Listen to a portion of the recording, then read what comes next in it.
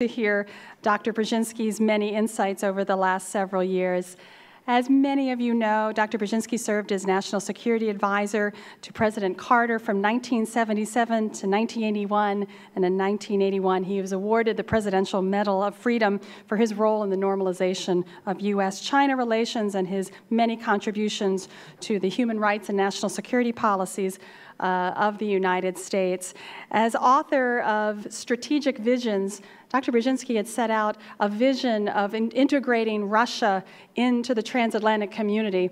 That book was published, I believe, two years ago. And so we need additional strategic vision now as we confront a very different Russia. So, with that, please join me in welcoming Dr. Brzezinski.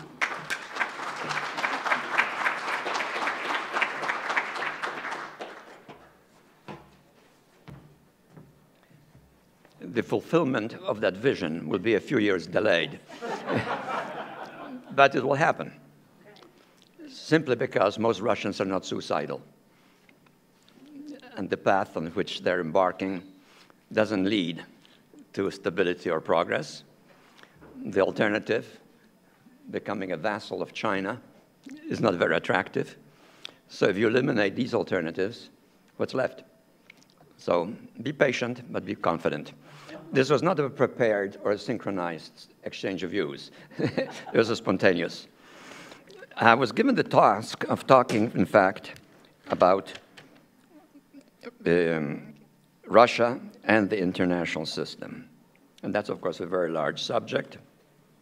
I deliberately did not peek into the television sets to listen to what was being said this morning because I was tied up by appointments, but also in the intervening moments, I didn't want just to listen to one presentation. I wanted to get an overview. Of I could be here all the time.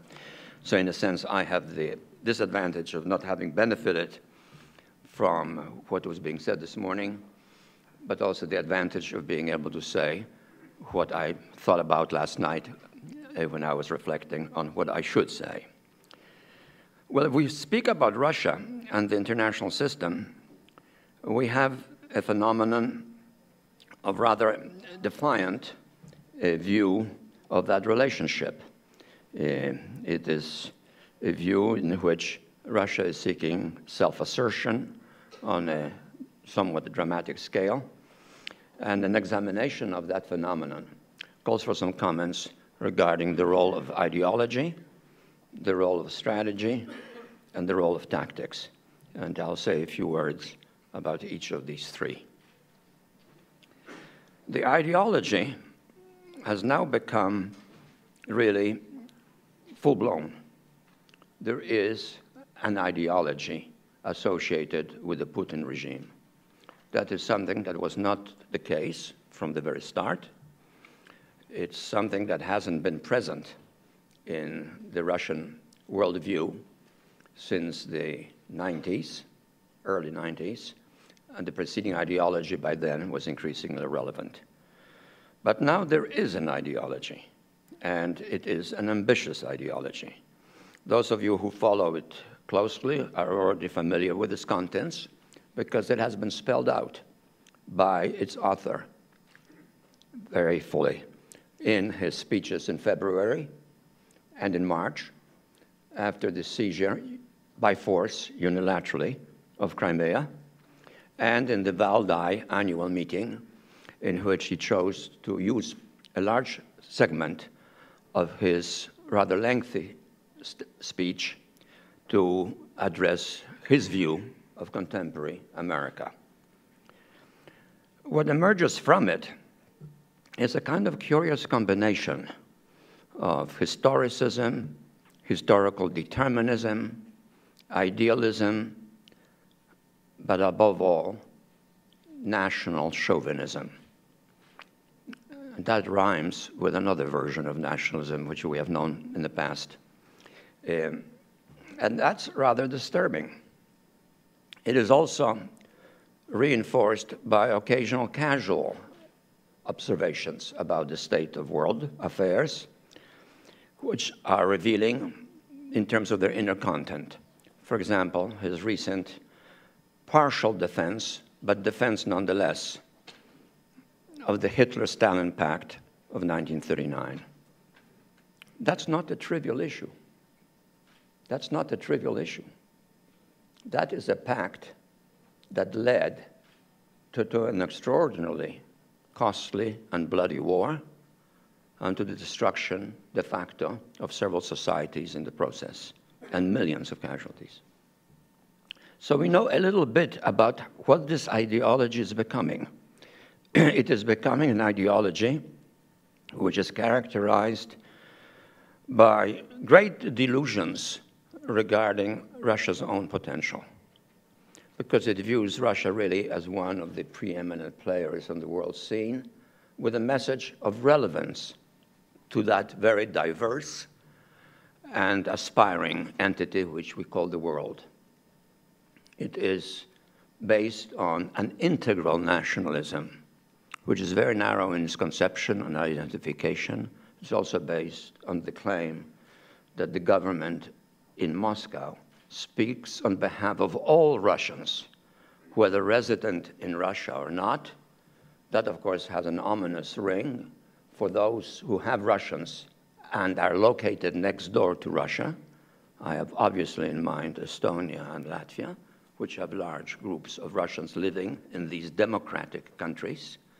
It even includes the Russians on Brighton Beach in Long Island. Um, so we are facing here in this country with the sudden realization that hundreds of thousands of either former citizens or future citizens, irrespective of their citizenship, have a prior obligation to a country distant from here, and a country which has an extremely negative view of America as a society. What was interesting to me in reading that speech was how critical, indeed, how hostile his presentation of America was. And that ideology aspires ultimately to the position of the preeminence in world affairs, which the Soviet Union was seeking and partially obtained. So it is a program which has significant ramifications, not only for domestic policy of Russia, but for Russian role in the world, either as a contributor to greater stability or to greater instability. And that has to be assessed carefully. But I do recommend to those who follow Russian affairs to read this speech carefully. I could go on on the subject for a long time because there's a great deal to this speech. It has a specific definition of the Russian identity, it has territorial implications, and it provides the basis also of saying to those who may be having second thoughts about joining the Eurasian Union to be a little worried, as in the case of Kazakhstan, which is willing to be a member under certain conditions, but wasn't terribly delighted to learn that people in the Kremlin are aware of the fact that Western Kazakhstan, as it was stated, is inhabited mostly by Russians. I think that had a lot to do with Nazarbayev's insistence that this whole enterprise be renamed no longer the Eurasian Union, presumably with a capital in the Kremlin. It's now the Eurasian Economic Union because of the insistence overtly by Nazarbayev, but also supported by the Belarusians, who are now increasingly worried about their independence, the Kazakhs, who have always been very, the Uzbeks, sorry, the Uzbeks, who have always been very determined about their independence and so forth. So the ideology is full blown. It's a competitive, assertive, belligerent ideology, and very much associated, and that is a good part, with one individuality, because it is not likely to last too long. It doesn't have the breadth and the sweep of ideologies that endure and that can be offered as alternatives to the ideologies of others whom one dislikes. Communism, for what it was worth, was a serious ideology, an alternative view of life. The Chinese have an ideology, but an ideology of self containment, and um, one which avoids messages for others as to how they should transform themselves and on that basis, they can associate with the United States, relying on the shared foundation of mutual economic and financial success. And it is derived also from the realization that, in fact, a massive economic, financial world crisis would hurt both countries. And the leaders of both countries know that. So it is also a strangely self isolating ideology. Now, that leads me then to the second issue, uh, which I want to touch quickly, and that is um, the question of strategy. And here I think uh, there is a number of things again to be noted, some casual and some more explicit. Casual, just as the reference to the Hitler Stalin Pact, involves, in my judgment, the sudden passion for uh, aerial expeditions of Russian warplanes, flying to nowhere and coming home but just appearing near enough the territories, not only of Russia's immediate neighbors, who are already somewhat familiar with the problem that this kind of Russia is not very reassuring. It involves some countries rather remote from Russia in the European context. Portugal, for example. Um, why are Russian military aircraft approaching Portugal? If one looks at the map, it's destiny to nowhere. Where are those planes supposed to go? Except home, or if they miscalculate their trajectories, get shut down. So it's a kind of a curious strategy. But its fundamental essence pertains, in my judgment, first to intimidate Europe. And I think this is what's very much involved in the strategic calculus here exploit or take advantage of the situation to see if Europe can be intimidated. And it's based on the premise that Europe is not so integrated. It doesn't share its shared strategic destiny with such intimacy as one would wish, that at least portions of it can be intimidated. And I think we can all identify the countries that I have in mind. So intimidation of Europe is one important aspect of it. Beyond that, and connected with it, of course, is the interest thereby to divide Europe.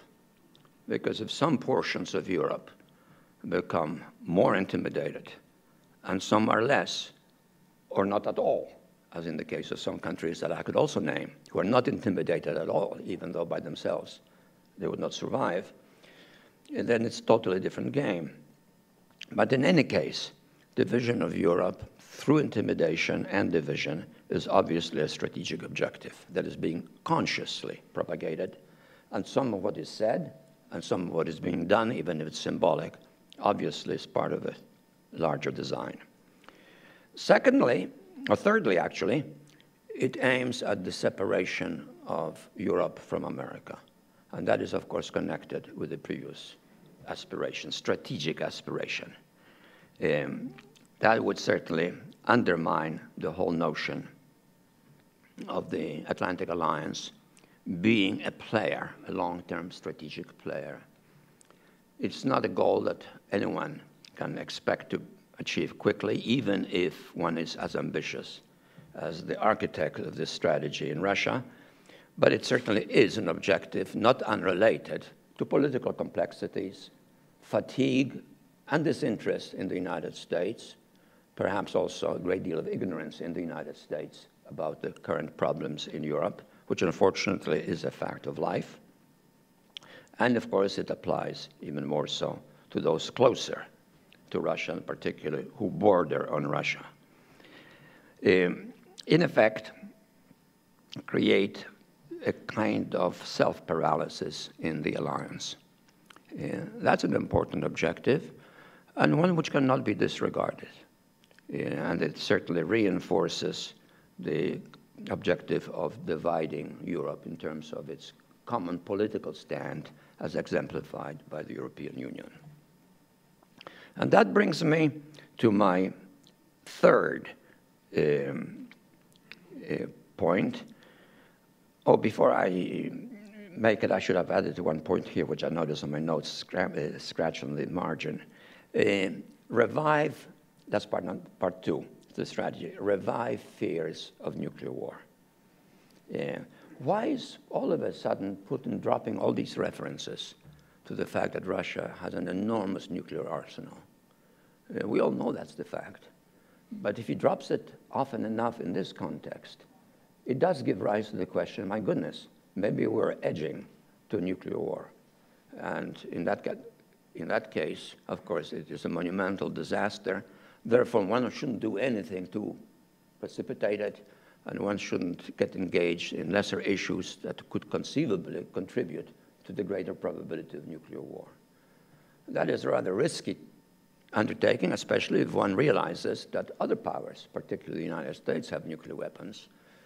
But over the last several decades, we have become accustomed to the thought that the nuclear suicide is no one's interest, and playing with it, like Russian roulette with a revolver, is not very smart strategy.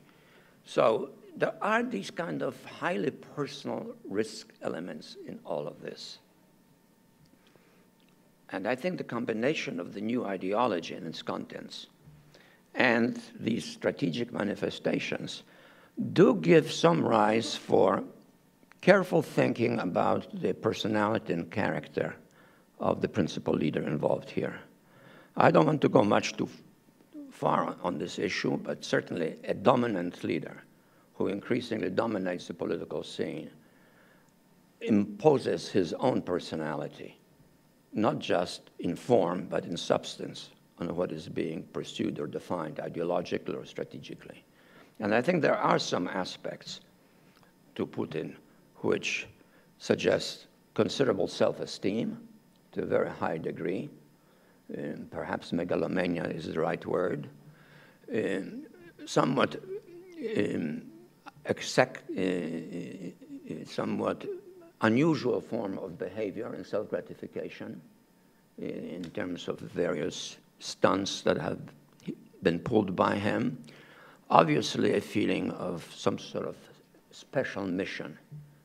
Uh, one doesn't know how to measure that, one doesn't know where to define it or how to define it, but it certainly gives food for thought. So we have the ideology and the strategy reinforcing themselves in these ways. And then, thirdly, there's the question of tactics. And tactics pertain, in this instance, to Ukraine. That is a test. That is a test. And I think that the tactic on which uh, Russia, under the present circumstances, has settled on is the tactic of the deliberate uh, attrition, the deliberate attrition of Ukraine. Attrition politically, attrition financially. That is to say, impose pressures on Ukraine, which over time have the effect of undermining the cohesion of the country and perhaps the questioning of its aspirations that seem to be currently widely shared. The electoral process does illustrate that there is a real affirmation of Ukrainian identity, a real affirmation of its aspirations to be both independent and European at the same time, without initially any hatred towards Russia, but with that aspect changing because of the sudden unilateral seizure of Crimea, as well as the stoking of the fires in the Donbass. And hence, Ukraine, in the process, is becoming more hostile in its popular attitude towards Russia. I think the Russian objective here, therefore, is to create a situation in which the internal conditions in Ukraine precipitate increasingly unmanageable costs for sustaining independence. Obviously, if the economy is disrupted, if significant segments of its economy, those uh, which are oriented towards exports to the East, become the objects of local conflicts and instability, all of that has a total effect on the cohesion and functioning of the state and on the well being of its citizens. And if independence, after a while, becomes increasingly associated with social disruptions, personal discomfort, spreading social poverty, there will be questions about the viability and desirability of such independence, despite the sincerity and intensity of the original commitment. Among some, it may also produce more intensively negative feelings towards Russia. But that may not be enough to sustain it, especially if the country is so weakened that it cannot make even credible resistance feasible. Not a victorious resistance in an all out war because the disproportion of power is such, but such resistance as to make anything less than an all out war not worthy even for the stronger party. And this is why a war of attrition, semi by force, semi by disruption, is the calculus that I think Putin has increasingly embarked upon. Uh, and that means that the West, and in this case I particularly have in mind Europe, is going to be increasingly faced with growing costs of sustaining emergency measures to help Ukraine. Emergency measures which, in terms of our calculus, of our sense of responsibility, Ukraine is entitled to have in order so that it can survive, develop, and move forward in the process of entering Europe, which is meant to be a prolonged one, not a hasty one, but a process which at the same time will impose increasingly costly consequences on Europe itself. Now, in that setting, the objective of splitting Europe becomes more achievable. And therefore, this strategy seems to me to be dangerous. Of course, there could arise circumstances in which the whole process would lead to a complete collision.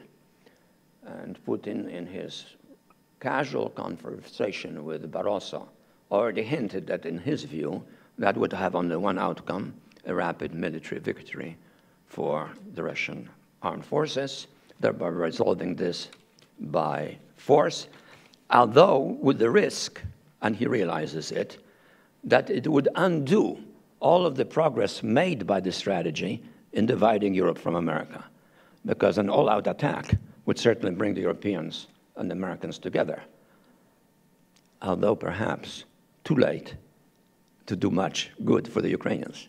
And that is the dilemma that we face. And this is why it seems to me that it is absolutely essential, and that has been said by everyone almost, that we maintain close ties with the Europeans and that we are backed by a leadership in Europe which is capable of exercising influence on its neighbors in ways that are, in some respects, even more significant than our own direct influence. And this is why I so welcome and respect the leadership that Mrs. Merkel, Chancellor Merkel, has been providing.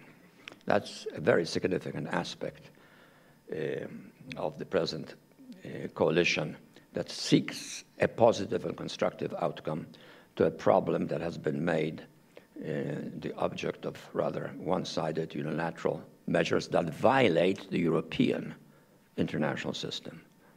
Um, now, that has, of course, its consequences that are tangible. One of them is the question of sanctions. I think sectoral sanctions, if the present disruptions continue and escalate, will be absolutely necessary.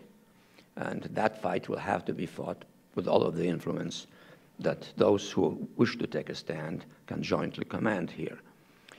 Um, this also means addressing the issue of Ukraine capability to discourage the escalation of the war from nitpicking to more significant encounters to an all-out attack.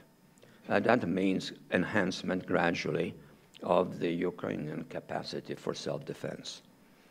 I have favored from the very beginning the provision of defensive weapons to the Ukrainians, weapons that are literally defensive in the sense that you cannot wage an active offense with them. And that means particularly weapons suitable for urban defense. to prevail politically by military means in Ukraine doesn't mean that hundreds of tanks can roll over wheat fields and occupy them. It means that cities, the major cities, are occupied and new political authorities are installed. Defending a city against an external assault and defending it on the ground without the city being erased by an atomic bomb is a very difficult object for the attacker to overcome. And it is, a, it is, in a sense, a set of fortifications that can be effectively used for self defense. And self defensive weapons gain advantage in that context over the attacker. When the Russians attacked uh, Chechnya, the commander in chief of the Russian armed forces at the time said that it'll take three days to, to end the war. They attacked the capital almost from the very beginning. It took them three months to crush the urban resistance.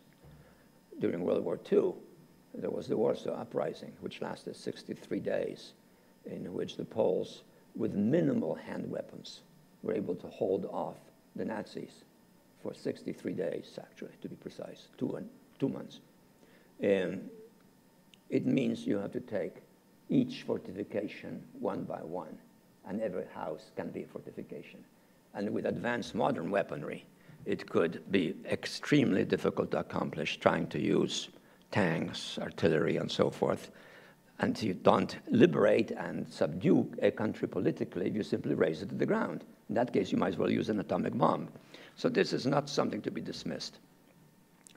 I would think at the present time, since the West has decided not to inflame the conflict by providing overtly defensive weaponry to Ukraine. A proper attitude by the West would be, in my judgment, to simply say that if there is a significant and overt breakdown of the ceasefire, then the West will have no choice to provide defensive weaponry. And especially if it can be documented that that has occurred on a large scale with direct Russian involvement. I think that would be, in any case, a deterrent. And while Putin is in charge of this entire enterprise, and in many respects its architect, he's not alone. He has a leadership group around him. He has a number of intelligent economists and others. And they can also assess the consequences for Russia of something that becomes prolonged and costly and dangerous. And the calculus would not be very promising for Russia. So there are things we can do. And beyond that, we can do one more thing, which I suggested as early as February when speaking on this issue at Wehrkunde in Munich when the whole crisis broke out. Namely, that we should be willing to say publicly and overtly, and I know this is controversial, that in our view, while we fully support Ukraine's long road to full European membership, we do not envisage it to lead in to Ukrainian membership in NATO.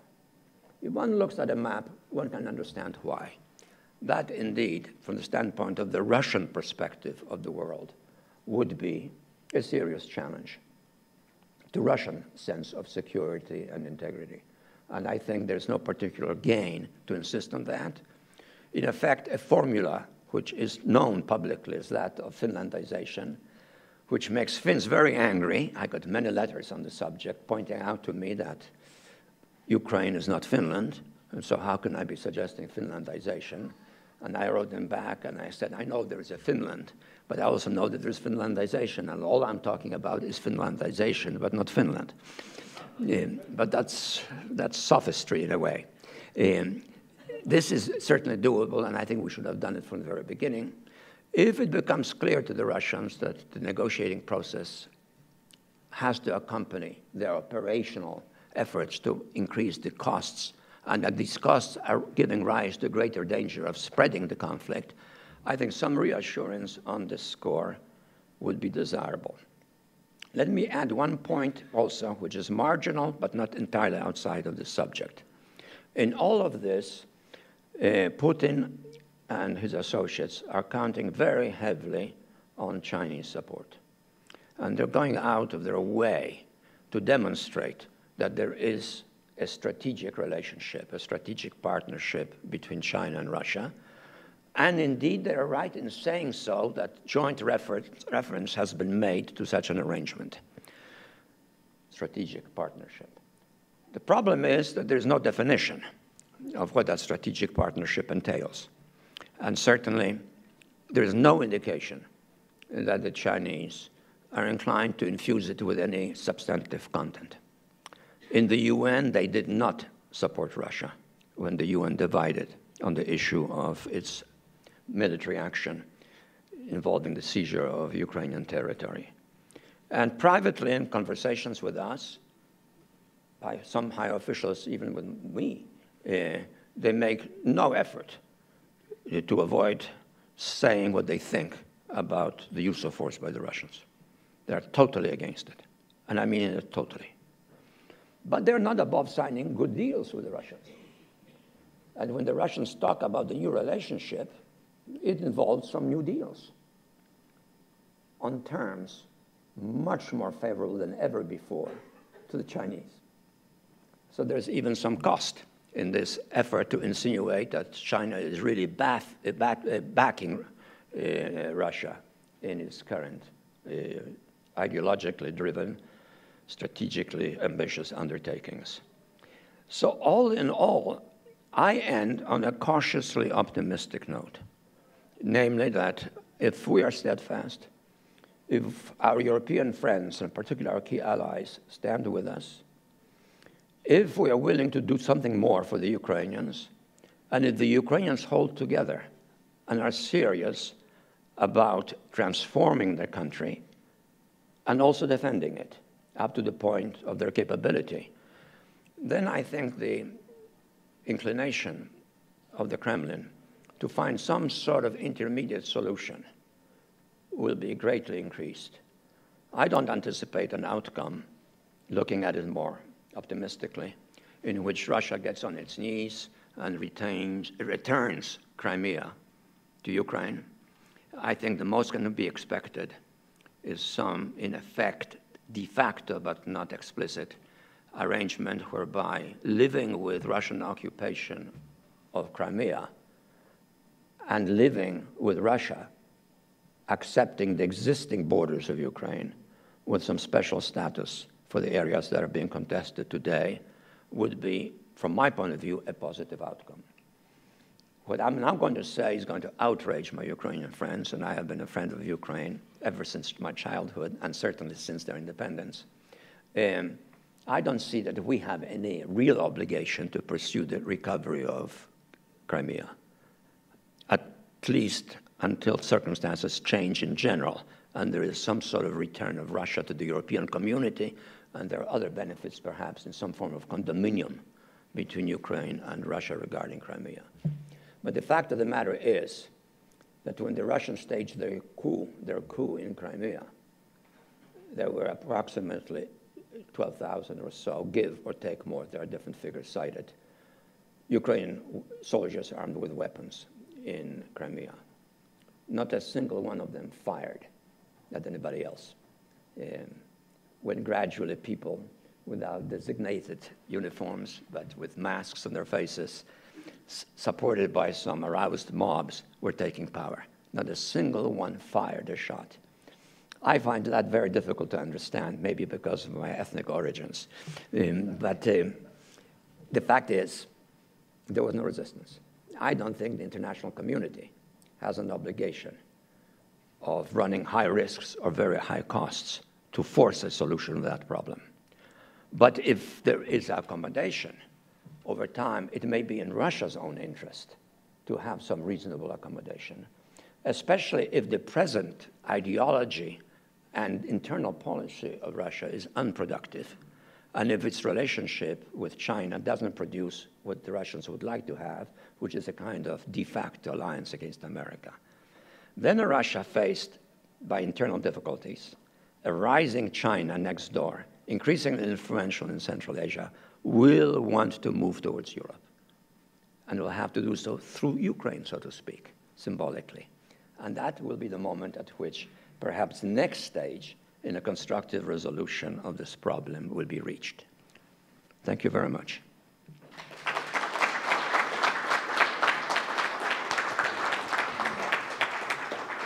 Dr. Brzezinski, that was uh, unbelievable. Thank you so much for sharing your insights.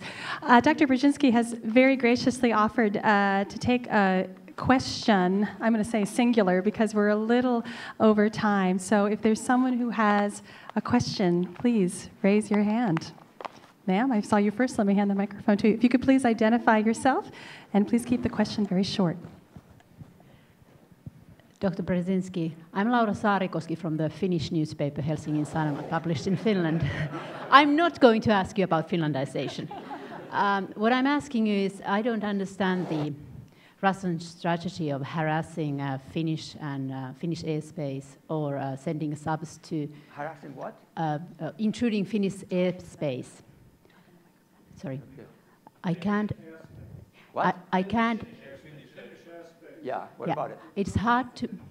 Yeah, I'm, it's hard for me to understand that if Russia aims to keep Finland and Sweden out of NATO, why do they then continuously intrude into Finnish airspace and send submarines to Stockholm's archipelago? Because that only drives the support for NATO up in Finland and Sweden. So I was wondering if you could explain no, I that. can answer it right away. Because their psychology and the psychology of the Finns and the Swedes is different. the Finns and the Swedes are rational people and calculating carefully. Uh, the Russians, when sort of aroused, and Putin likes to draw analogies with leopards or with some other animals that live in the taiga, and he says, We are the taiga.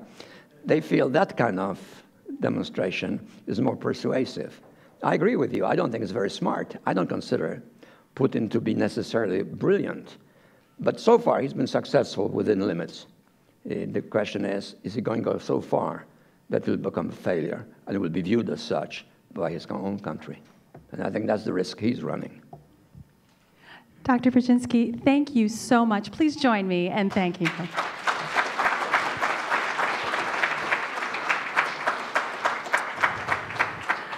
Colleagues, I'd like to invite our third panel